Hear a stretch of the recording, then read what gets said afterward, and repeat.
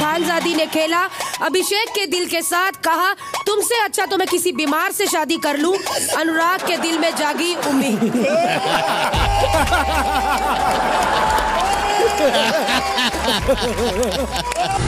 वो मुश्किल घड़ी आ चुकी है तो जिनका सफ़र इस घर में पूरा होता है वो है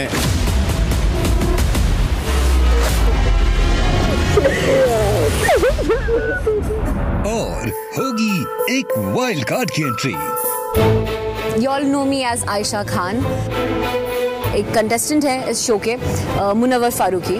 I have a history with him I just want people to know कि वो जैसा दिखाते हैं, वैसा कहीं से भी नहीं है. आई डोंट नो शो पे आप कह रहे हैं, आप कमिटेड हैं तो फिर आप शो पे जाने से पहले आप मुझसे कह रहे थे कि you know I love you और आप जैसी लड़की से तो शादी करना चाहिए। तो ये सब कुछ झूठ था।